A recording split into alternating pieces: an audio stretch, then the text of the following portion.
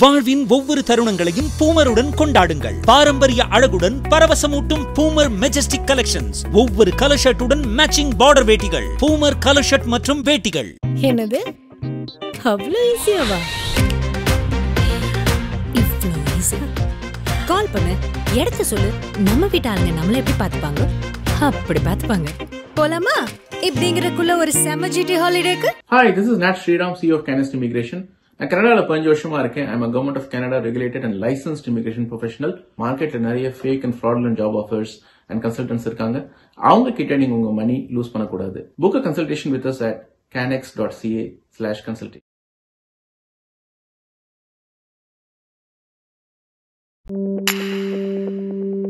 Chai with Chitra.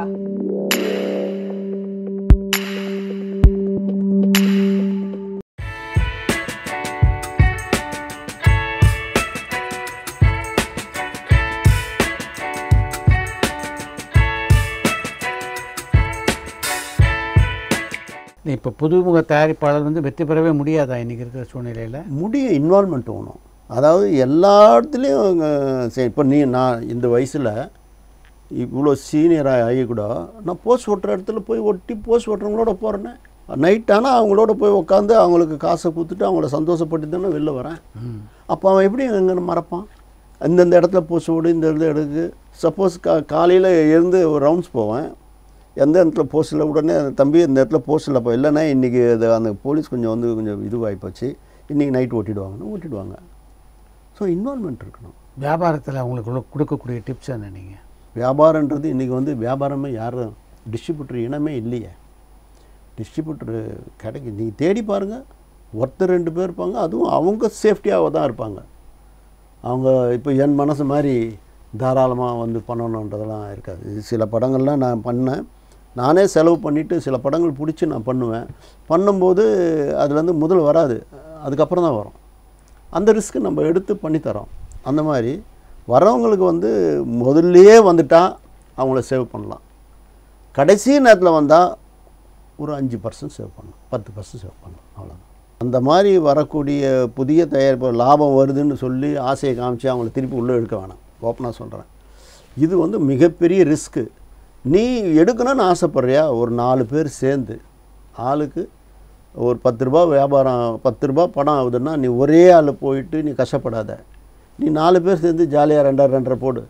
அந்த பத்து எடுத்து செலவு பண்ணு. அதில் யாராவது நாலு பேரில் ஒருத்தன் உஷாராக இருப்பான். அதில் முயற்சி பண்ணு. ஜெயிச்சு வா. அதுக்கப்புறம் தனியாக போ. தனுஷோட சேர்ந்து படம் எடுக்கிறதுன்ற முடிவை எப்போ எடுத்தீங்க? ஒரு பண்டிகை. ரஜினி சாரை பார்க்கறதுக்கு வீட்டுக்கு போயிருக்கேன். அப்போது அவருடைய பெரிய பையன். தனுஷுடைய பெரிய பையன். எங்கள் தாத்தாவே வச்சு படம் எங்கள் அப்பா வச்சு எடுக்க மாட்டீங்களான்னு கேட்டு நான் சொன்ன உங்கள் அப்பா டைட்டு கொடுக்க சொல்லுப்பா நான் எடுக்கிறேன் அப்படின்னு இது முடிஞ்ச பிறகு இதை வந்து சார் வந்தாருன்னு சொல்லி சிரித்தேன் பாருங்க சார் இப்படி கேட்குறாரு புல்லாண்டா அப்படின்னு சொல்லி அவர் ரொம்ப சந்தோஷப்பட்டு சிரித்தார் அதுக்கு அடுத்தது ம், காலா வந்து கா- தனுஷுக்கு பண்ணுறாரு அப்போ என்ன த ரஞ்சித் தான் டைரக்டர் அதனால் கபாலி டூ அப்படின்ற பேர் வேணுன்றதுக்காக என்னை கூப்பிட்டு தானே அந்த கபாலி டைட்டில் டூன்னு எடுக்க போகிறாங்க நீங்கள் தனுஷ் ஃபோன் பண்ணால் நீங்கள் கொடுத்துருங்கன்னு ஓ காலாக்கு முதல்ல கபாலி டூன்னு வச்சிருந்தாங்களா? உடனே எனக்கு தனுஷ் அடுத்த ஒரு ஒன் ஹவரில் ஃபோன் பண்ணிச்சு. இந்த மாதிரி சார் உங்களை வந்து பார்க்கணுச்சு தம்பி சார் சொல்லிட்டாரு. நீ அங்கேயே இரு நான் வரேன்ட்டு நானே லெட்ரு டைப் பண்ணி எடுத்துன்னு போய் எடுத்துன்னு போய் கொடுத்தேன். கொடுத்த பிறகு காஃபி கொடுத்து சாப்பிட்டுட்டு லிஃப்ட்டில் வரும்போது திருப்பியும் வந்து சார் நம்ம எப்போ சார் பண்ணுவோம்? அப்படின்னு தம்பி கேட்டது. சூப்பர். லிஃப்ட் விட்டு வெளில வந்தேன். ரூமில் போய் உட்காந்தேன் உன் பையன் இந்த கேள்வி கேட்டான். நான் ரெடி தம்பி நீ சொல்லு நான் ரெடின்றேன் அப்படி ஆரம்பிச்சது தான் வேலையில்லா பட்டம் வேலையில்லாப்பட்டது முதல்ல. அந்த படம் ஷூட்டிங் நடக்கும்போதே என்னை கூப்பிட்டு வெற்றிமாறன் தம்பியை சொல்லி நீங்கள் அவரோட சேர்ந்து ஒரு படம் பண்ணுங்க சார். அப்படி தான் நான் பண்ணேன். எப்படி இருந்தது? அசுரன் கதையை கேட்ட போது உங்களுக்கு அதில் ஒரு சுகானுபவம் என்னன்னா சொன்ன டைமில் அந்த படம் லே லேட் ஆகுது என்னை கூப்பிட்டு ஒரு நாள் வந்து நான் உங்களை பார்க்கணுன்னு வெற்றி தம்பி சொல்லுது. சரின்னு அவரை வந்து ஒரு ஹோட்டலில் மீட் பண்ணுறேன் சார் உங்களுக்கு சொன்ன டைமில் என்னால் படம் பண்ணுறதுக்கு டேட்டும் டைமும் இல்லை இடிக்குது.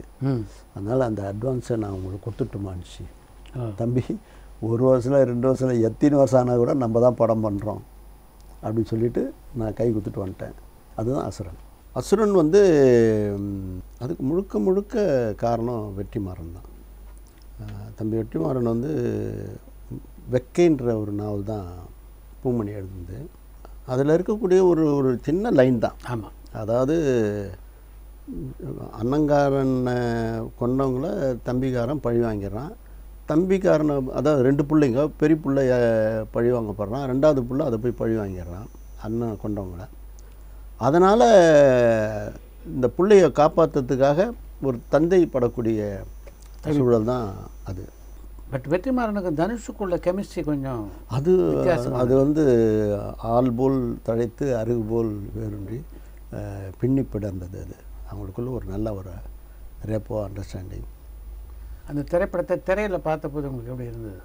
படம் பண்ணினே இருக்கும்போது அப்பப்போ எடிட்டிங்கில் கூப்பிட்டு டைரக்டர் சில இதெல்லாம் திடீர்னு போகும்போது இதை பாருங்கள் சார் அப்படின்னு காமிப்பார். அதெல்லாம் எனக்கு ரொம்ப ரொம்ப திருப்திகரமாக இருந்தது. அதுக்கடுத்து வந்து படம் பார்க்கும் பொழுது ரொம்ப டைரக்டர் வந்து உச்சி முகர்ந்தேன். இந்த மாதிரி மிகப்பெரிய வெற்றியாகுன்றது அந்த ஃபஸ்ட் காப்பி பார்க்கும்போதே தெரிஞ்சுது. அதுக்கு கட்டியும் போடுற மாதிரி படம் ரிலீஸ் ஆன பிறகு அதுக்கு ஏகோபித்த வரவேற்பு எல்லா சைட்லேருந்தும் எல்லா லாங்குவேஜில் இருந்தும் அந்த படத்துக்கு ரீமேக்குக்காக கேட்டாங்க. உதாரணம் சொல்ல போனால் ஹிந்தியில் இருக்கக்கூடிய மிக மிக மிகப்பெரிய டைரக்டர்லாம் ஹீரோக்கள்லாம் வந்து அப்ரோச் பண்ணாங்க. ஆனால் அவங்களுடைய ஒரே வேண்டுகோள் request வெற்றிமாறன் தம்பி தான் டைரக்ட் பண்ணணும். சார் எடுத்ததே எடுக்குது நான் எதுக்கு சார் இல்லை. வேறு யாருன்னா எடுத்துக்கங்க சார் அப்படின்னு ஒரு ஒரு பிடிவாதமாக மறுத்தார். அதாவது அவரை வந்து எப்படி சொல்லணும்னா அவரை வந்து காசால் விலைக்கு வாங்க முடியாது. என்ன காசு கொடுத்தா கூட அவருடைய பாலிசியில் அது கரெக்டாக அப்படி நிற்பார். அந்த அந்த படம் அவ்வளோ பெரிய வெற்றியான போகுது கூட ஓ, தன்னடக்கத்தோடு இந்த இந்த படம் விடுதலை படம். சூரிய வச்சு சிம்பிளாக ஆரம்பிக்கிறேன்னு சொல்லி ஆரம்பிச்சது தான் இந்த படம். இதுக்கு அடுத்து தான் நம்மளுடைய வெ- வாடிவாசல்னு பண்ணது. அந்த மாதிரி ஒரு டெடிகேஷன் அதான் அந்த அந்த படத்துலேயே பார்த்தீங்கன்னா ரொம்ப கடுமையாக எடுத்துன்னு வந்துட்டார். படம் முடியுது. நான் போய் அவர்கிட்ட போயிட்டு இந்த தேதி ஆயுத பூஜை லீவெல்லாம் வருது தம்பி. ஒரு அஞ்சு நாள் நல்ல வசூல் இருக்கும். அந்த மாதிரி பண்ண முடியுமா? பண்ணலாமா? அப்படின்னேன். ரொம்ப நெருக் இறுக்கமான டைம் சார். எனக்கு எப்பவுமே ஃப்ரீ ப்ரொடக்ஷனில் வந்து கொஞ்சம் போஸ்ட் ப்ரொடக்ஷனில் கொஞ்சம் எனக்கு டைம் எடுத்துப்பேன். நான் ஏன்னா டப்பிங்கில் கான்சென்ட்ரேட் பண்ணணும் மிக்சிங்கில் கான்சென்ட்ரேட் பண்ணணும். எடிட்டிங்கில் கான்சென்ட்ரேட் பண்ணணும் கடைசி வரலும் நான் வந்து அதுக்காக உழைப்பேன்.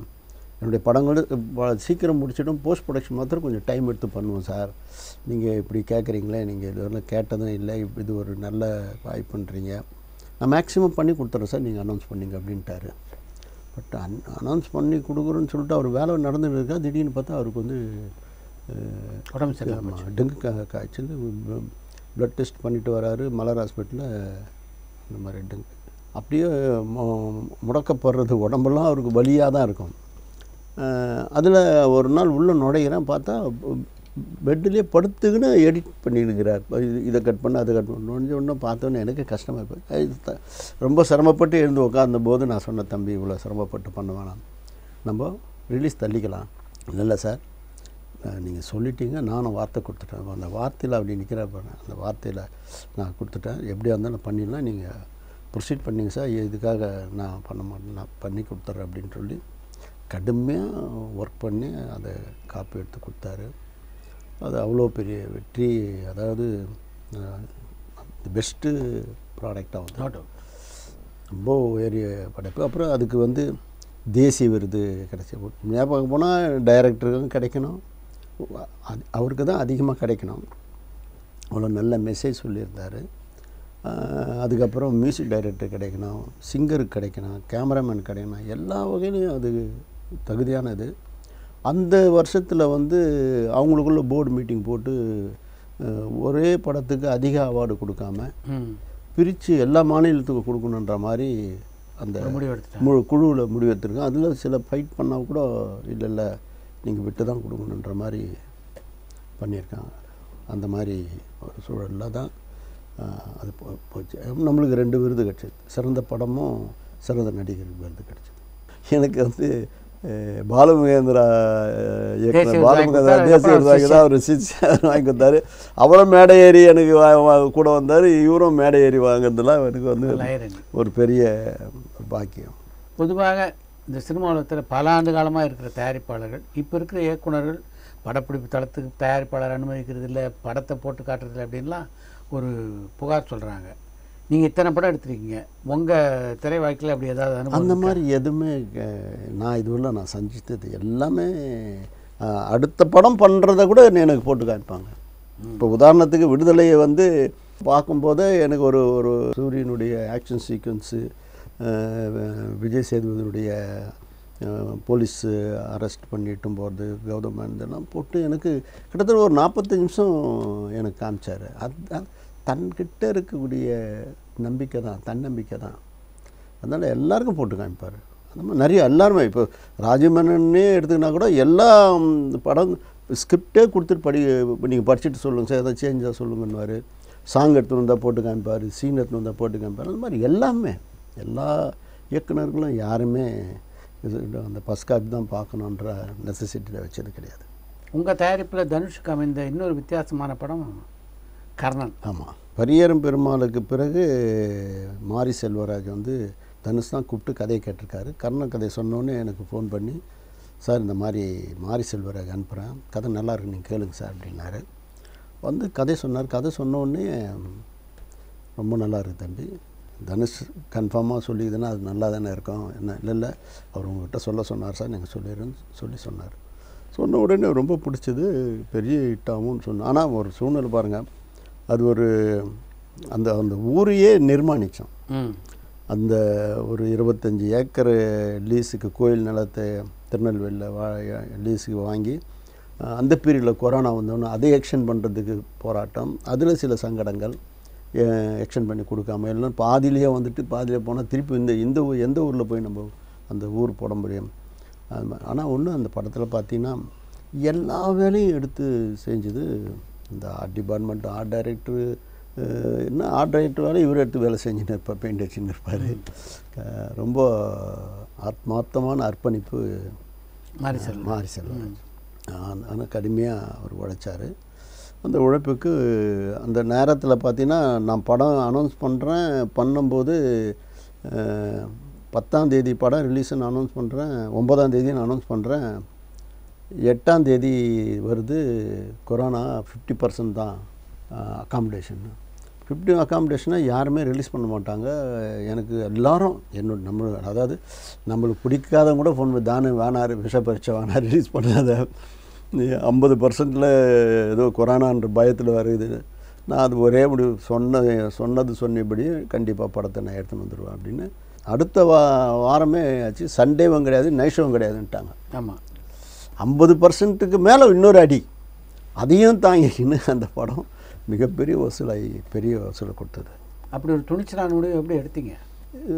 அதாவது அது ஒரு சின்ன நம்ம டிஸ்ட்ரிபியூட்டராக எக்ஸிபியூட்டராக இருந்ததை விட்டு நம்மளுக்கு ஒரு சைக்காலஜி என்னென்னா இன்றைக்கி மேக்ஸிமம் வந்து அந்த மூணு நாள் வசூல் தான் வருது.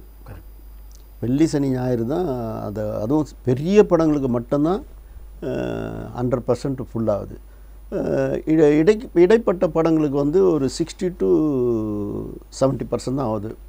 ஸோ ஐம்பது பர்சன்ட்ருந்து கேரண்டியாக வர நேரத்தில் அந்த ஐம்பது பர்சன்ட் வந்தாலும் நம்ம சேஃப் ஆகிக்கலாம் அப்படின்னு தான் தைரியமாக அடித்தது ஏன்னா மீதி இருக்கிற ஜனங்க மீதி நாலு நாளில் வருமே அப்படின்னு சொல்லி தான் அந்த கால்குலேஷன் பண்ணி தான் நான் அடித்தேன் நான் கணிச்ச மாதிரி ஹவுஸ்ஃபுல்லாக போக ஆரம்பிச்சிது.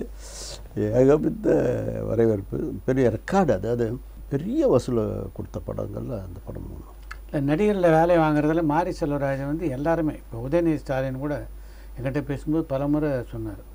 அவருக்கு திருப்தி ஆகலைன்னா பதினெட்டு டேக் இருபது டேக் இருபத்தி ரெண்டு டேக் கூட எடுப்பார் சார். இந்த பர்ஃபெக்ஷன் பார்ப்பார் உங்கள் படத்தில் பணியாற்றும் போது அப்படி பார்த்து எல்லாமே கண்டிப்பாக கடுமையான உழைப்பாளி. அவர் வந்து அடையாளம் காட்டக்கூடிய அஞ்சு ஆறு டைரக்டர் இன்னைக்கு இருக்கிறாங்கன்னா அதில் அவரும் ஒருத்தராக இருப்பார். சூப்பர். இந்த படத்தை தொடர்ந்து செல்வராகவனோட பணியாற்றியது அப்படிங்கிறது. மூ மூணாவது வந்து இந்த செல்வராஜ் வந்து இது இது ஒரு படம் வந்து அவருக்கு கொஞ்சம் பெரிய வசூல் ஆகலை. அப்போது தன் அண்ணன் வந்து தன்னை மேலே ரொம்ப பிரியம். ஆமாம். தனுஷுக்கு. சார் இந்த மாதிரி அண்ணனுக்கு வந்து இந்த படம் கொஞ்சம் பெருசாக பண்ணல. நீங்கள் பண்ணி தரணும் சார் அப்படின்னு. இந்த மாதிரிலாம் இந்த நம்ம இருக்கணும். கண்டிப்பாக நம்ம பண்ணுவோம் அப்படின்னு சொல்லி ராயன்ற ஒன்று ஒரு ஒரு வண்ணார்பேட்டில் இருக்கக்கூடிய பேக் ட்ராப்பில் ஒரு ஒரு பெரிய செட்டு அதுக்குண்டான வடிவமைப்பெல்லாம் பண்ணி எல்லாம் பண்ணியாச்சு. ஒரே ஷெட்யூலில் முடிக்கிற மாதிரி ஒரு பக்கம் வந்து பகலில் வந்து கர்ணன் ராத்திரியில் வந்து ராயன் அப்படின்னு பிளான் பண்ணிட்டாங்க. ஆனால் மாரி செல்வனை இன்வால்மெண்ட் பார்க்கும்போது ராத்திரி பகலில் இங்கே நடிச்சிட்டு. ராத்திரியில் அங்கே நடிச்சிட்டு திருப்பி வந்து ஒரு நாலு நாள் அஞ்சு நாள் தாளும் உடம்பு. அப்புறமா டயர்டாக மர கண்ணில் ஒரு ரங்கு கிடைக்கும். இந்த டயர்ட்னஸ் தெரியும். மாரி செல்வராஜ் ரொம்ப ஃபீல் பண்ணுவார். ஏன்னா அவர் அடுத்து ஒரு போராளியாக வரக்கூடிய இயக்குனர்னு நான் சொன்னேன் தம்பி உன் உடம்பு பெரிய லெவலில் பாதிக்கும். எனக்கு உடனே பண்ணணுன்ற இதெல்லாம் கிடையாது. நம்ம தள்ளி கூட பண்ணிக்கலாம். முதல்ல கர்ணன் முடிச்சிடுவோம். அதுக்கப்புறம் ராயனை நம்ம பண்ணுவோம். அப்படின்னு சொல்லி ராயனை தள்ளி வச்சேன். அதுக்கப்புறம் புதுப்பேட்டை டூ டூன்னு பேச ஆரம்பித்த பிறகு இந்த இந்த கதையினுடைய சாயல் அது மாதிரி தான் வரும். அந்த பேக் ட்ராப் தான். ரவுடி கதை. ராயன் கதை. ஆமாம் ராயன் கதை வந்து ஒரு பெரிய பேக் ட்ராப்பு டான் இது அதுக்குள்ளே இருக்கக்கூடிய அந்த கதையை இப்போ நம்ம சொல்ல முடியாது. பண்ண பண்ண போகிறாங்க ரொம்ப ஓ, ஒருத்து அது ஆக்சுவலாக பார்க்க போனால் அந்த ராயன் கதை தனுஷ் டைரக்ட் பண்ணுற மாதிரி தான் என்கிட்ட சொல்லுச்சு. அப்புறம் அந்த கதையை அப்படியே அண்ணனுக்கு கொடுத்து பண்ண சொல்லலாம் அவருடைய டச் வரட்டும் அப்படின்னு சொல்லி பண்ணும்போது தான் புதுப்பேட்டையினுடைய சாயல் வருமே அப்படின்றதுக்காக தவிர்த்து நானே வருவேன். பாடி வாசலில் முதல்ல நுழைஞ்சது சூர்யாவா வெற்றிமாறனா இல்லை ரெண்டு பேரும் ஒன்றா உள்ள நுழைஞ்சாங்களா? மாறன் தம்பியும் சூர்யாவும் ரெண்டு பேரும் சேர்ந்து பேசும்போது தான் அவங்க ரெண்டு பேரும் சேர்ந்து பேசி தான் உருவானது. சூப்பர். ஆமாம் ஆக்சுவலாக நான் சூர்யாவோட பயணித்தது வந்து கௌதம் மேனனோட தான். ரொம்ப பெரிய அதாவது தமிழுக்கு தமிழருக்கு தமிழ்நாட்டிற்கு தமிழ் கலாச்சாரத்துக்கு ஒரு அடையாளம் வாடிவாசல். எழுதி வச்சு சித்ரா உலகத் தமிழர்கள்லாம் கொண்டாடக்கூடிய படமாக இருவார் அன்னைக்கு ஒரு ஃபங்க்ஷன் விகடன் விருதுக்கு போகிறேன் நடுவில் பல திரைப்படங்களை நீங்கள் விநியோகம் பண்ணியிருக்கீங்க இப்போ அடுத்து பிரசாந்தனுடைய அந்தகன் ஆமாம் படத்தை விநியோகம் பண்ண போகிறீங்க அதை பற்றி சொல்லுங்கள் அந்தகன் வந்து ஏற்கனவே வந்து அந்தாதுனுடைய ரீமேக் தான். ஆக்சுவலாக இந்த படத்தை வந்து நான் வந்து பரபரப்பான சினிமா செய்திகள் நட்சத்திரங்களின் பேட்டிகள் சினிமா வரலாறு ஆகியவற்றை பார்க்கவும் படிக்கவும் உங்களுக்கான இணையதளம் tour and talkies dot co